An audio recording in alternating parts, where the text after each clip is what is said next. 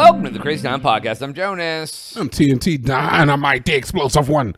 Let's crack into another one. So TNT, have you Yo. ever been to a uh, probably fast food place where they have one of those like super pop dispensers where you can like pick like Coke or whatever, and then there's like all the different flavors of Coke, or you can have like you can have the cherry syrup or the grape syrup or the orange syrup or the whatever. Have you seen all those? I have seen those. Uh, I don't really drink soda, but yeah, I, I'm aware of them. I've, I've I've had one before. It's pretty cool. Like you can put vanilla in anything, cherry in anything. Yeah, yeah, I and they always have like the weird pops you can't find, like Mellow Yellow Zero. Like Mm-hmm. you can't ever find that in the store, but they got it in that machine. Like It's really cool. So they're coming out with one of those machines, but for Heinz condiments. I'm sorry. What?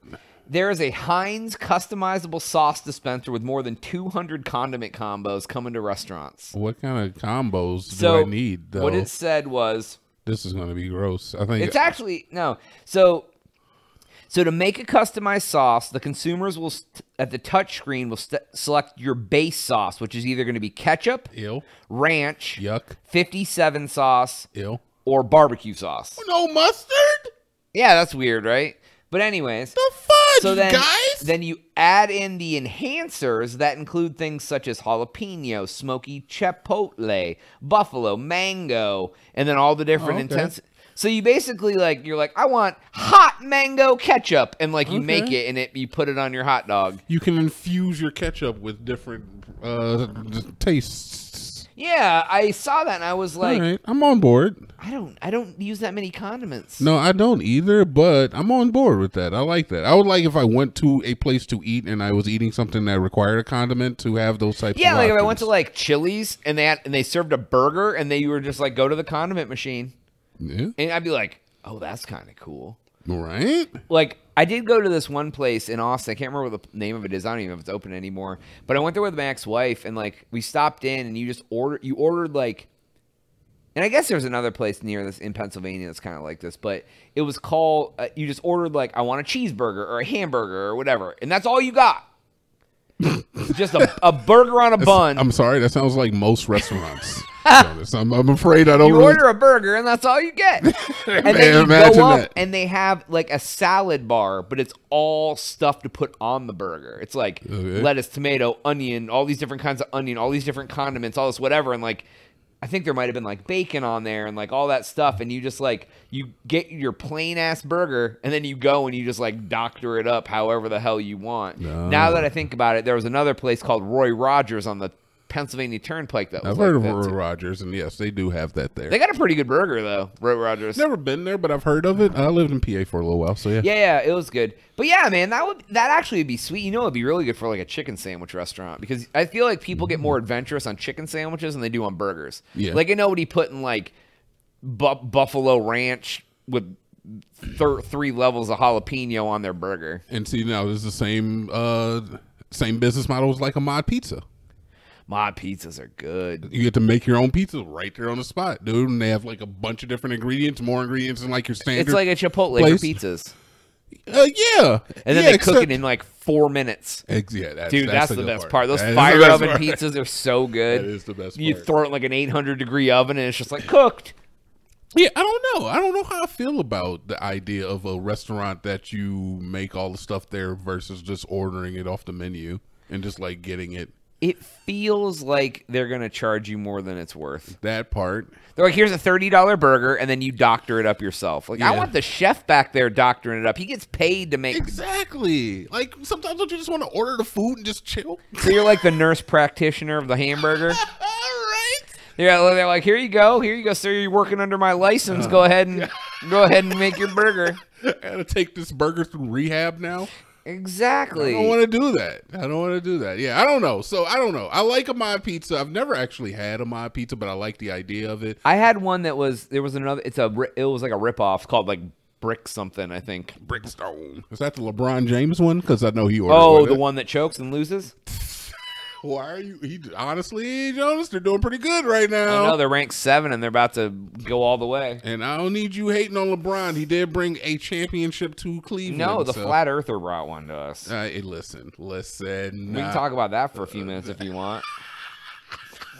I was actually listening to I was listening to an episode of the Breakfast Club, and they'll just have like uh their listeners call in or whatever. I really would love to be able to do that, but I know it's not something that we can probably do.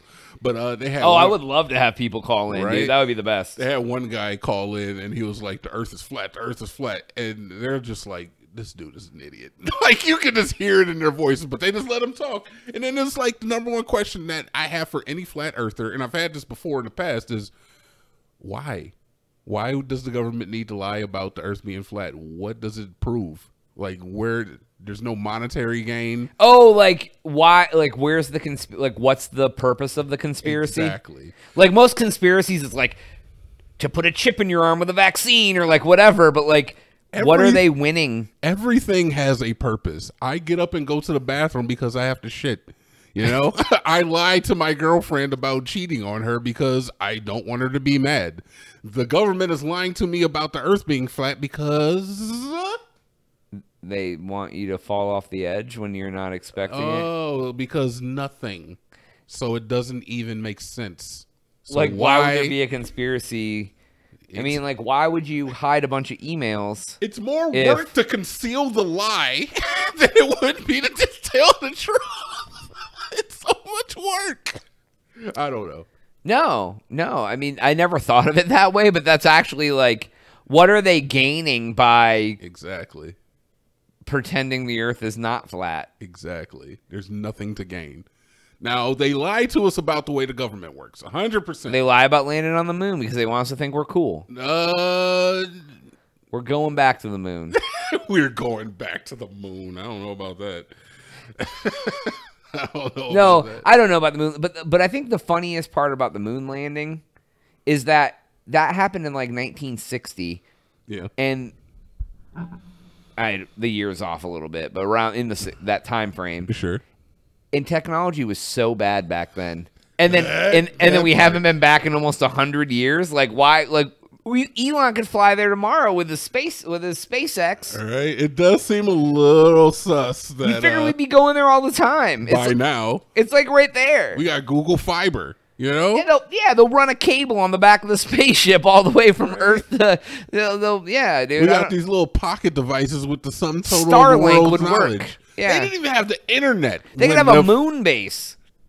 This is what I'm saying, and like the the fact that there literally is like a Deep Space Nine moon. I mean, not moon base, but like space station just floating out there right now with people inhabiting it. like Yeah. the- like the Star Trek Enterprise is absolutely insane to me. It's like the most mind blowing thing. Like I don't think people realize And they've that- lived there for years, that- forever. Yeah, there's Russians and Americans up there right now, just like fist bumping or uh, bumping uglies. well, they're floating, though. They ain't got no gravity.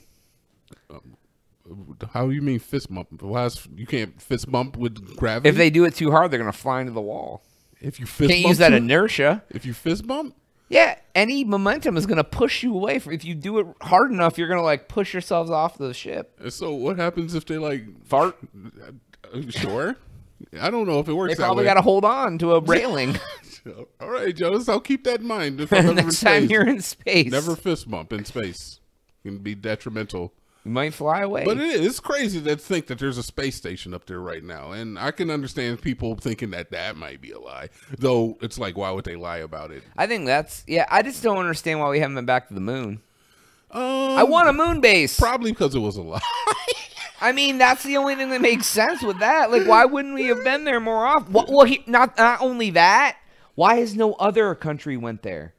We went there once. No other countries ever went there. They were just like, "Oh, America went. Guess it's enough." Yeah. Oh, and then we were like, "Don't worry, guys. There's nothing there. Don't to- ever go back. Don't go. Don't take moon rocks up home." there. There's nothing worth it. Yeah. What if that's where the aliens live? And they were like, "Listen, don't come back Yeah, here. you keep Do- your ass, don't mess with us up here. We're not coming back." bro. I'm telling you right now, aliens exist. I don't necessarily think they're the cause of the massive UFOs that have been being called on right now, but I do know they exist. Listen to our Fermi Paradox episode. we talk all about that, man. That, was, a good episode. Long time ago. That was. That was years ago. That was probably five years ago we did that. that was when you used to do editing.